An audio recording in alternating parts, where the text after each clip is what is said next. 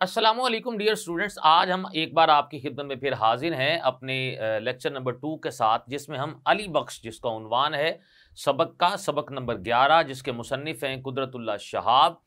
और हम इसका ख़ुलासा आपके सामने जो है, ये बयान करेंगे। कुदरतुल्ला शहाब जो हैं ये जो सबक हमारे पास है, ये शहाब नामा से लिया गया है। जिसमें ये बात बयान करते हैं कुदरतुल्ला शहाब साहब के, एक रोज़ में किसी काम से लाहौर गया था और वहाँ पर एक जगह ख्वाजा अब्दुलरहीम जो कि एक लाहौर के मरूफ जो है वो बैरिस्टर थे, उनसे मेरी मुलाकात हुई। और उन्होंने मुझे बातों बातों में बताया कि अलामा इकबाल के खादिम, यानी कि जो घर में काम करने वाले थे, अली बख्श, उनको हुकूमत पाकिस्तान ने खिदमत शायर मशरक़ के सिलसिला में फैसलाबाद के अंदर एक मुरबा ज़मीन अता की है। और कुछ शरीर लोग उस ज़मीन पर काबिज़ हैं। आप शहर झंग के डिप्टी कमिश्नर हैं, जो फैसलाबाद के करीब वाक़ है। क्या इस सिलसिले में आप उनकी कुछ मदद कर सकते हैं? मैंने फ़ौर जवाब दिया कि क्यों नहीं?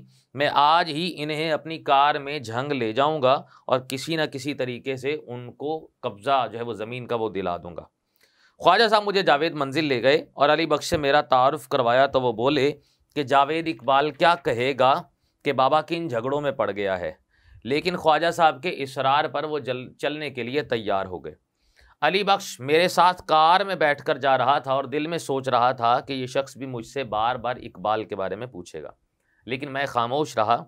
लेकिन अली बख्श, जिसके अंदर अलामा इकबाल की बेशुमार यादें आबाद थीं, एक सिनेमा घर के सामने भीड़ देख कर बुड़बुड़ाने लगा कि मस्जिदों के सामने तो कभी ऐसा रश नज़र नहीं आता।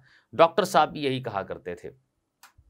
मैं एक जगह पान खरीदने के लिए रुकता हूँ तो अली बख्श बेसाख्ता कह उठता है, डॉक्टर साहब को पान पसंद न थे। फिर शायद मेरी दिलजोई के लिए मुस्कुरा कर कहता है हाँ हुक्का पीते थे। अपना अपना शौक़ है, पान का हो या हुक्के का। शेखुपुरा के करीब से गुजरे तो अली बख्श को याद आया कि डॉक्टर साहब भी यहाँ एक बार आए थे। डॉक्टर साहब को पुलाव और सीख कबाब बहुत पसंद थे। आमों का भी बड़ा शौक़ था और थोड़ी देर खामोश रहने के बाद मुझसे मुखातिब हुए कि साहब जब डॉक्टर साहब ने दम दिया तो मैं उनके बिल्कुल करीब था। सुबह सवेरे मैंने इन्हें फ्रूट साल्ट पिलाया और कहा कि अब आपकी तबीयत बहाल हो जाएगी। लेकिन एन पाँच बजकर दस मिनट पर उनकी आँखों में तेज़ तेज़ और नीली नीली सी चमक पैदा हुई। ज़ुबान से अल्लाह ही अल्लाह निकला। मैंने जल्दी से उनका सर उठाकर अपने सीने पर रख लिया और इन्हें झंझोड़ने लगा, लेकिन वो रुखसत हो गए थे। अली बख्श का मूड बदलने के लिए मैंने भी उससे सवाल कर ही डाला कि आपको डॉक्टर साहब का कोई शेर याद है?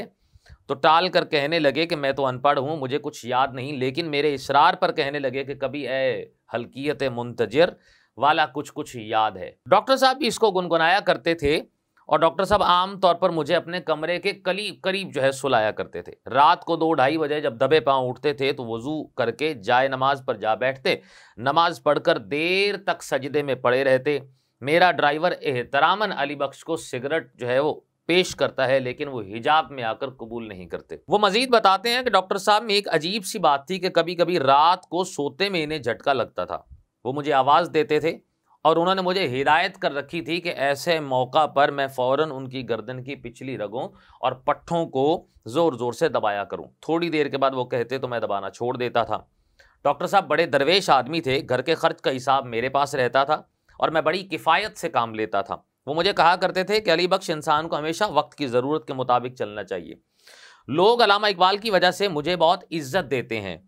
एक बार बाज़ार में एक पुलिस इंस्पेक्टर ने पहचान लिया तो मुझे गले लगाकर देर तक रोता रहा। जलामा, अलामा इकबाल की जब बीवी का इंतकाल हुआ तो जावेद और मुनीरा बीबी बहुत कम सिन थे। डॉक्टर साहब ने नर्स के लिए इश्तहार दिया।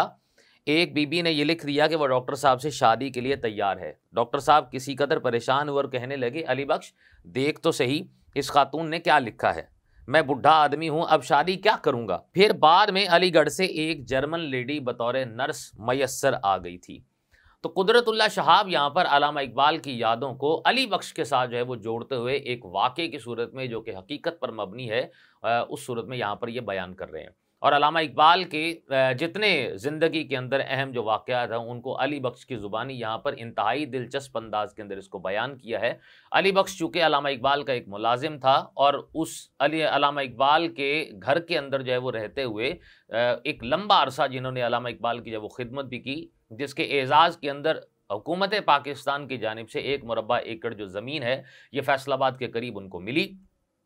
और उस बुनियाद पर मुख्तलिफ़ किस्म की जो है वो यादें जिनको कुदरतुल्ला शहाब के साथ जो है दौरान सफ़र जो है उसको डिस्कस करके या जेर बहस ला कर जो है अलामा इकबाल की याद को यहाँ पर ताज़ा किया जा रहा है। और इंतहाई अहम कुछ मालूम जो है इस सबक के ज़रिए से अलामा इकबाल के मुतल जो है वो दी गई हैं, जैसा कि उनके मौत का वक्त और मौत के वक्त उनकी जो कैफियत जो कि अली बख्श के ज़रिए से मालूम हुई है और यहाँ पर उसको यहाँ पर बयान किया जा रहा है। हमारा खुलासा यहाँ पर ख़त्म होता है। अगले लेक्चर में हम इसकी मुकम्मल मश्क आपके सामने यहाँ पर हल करेंगे।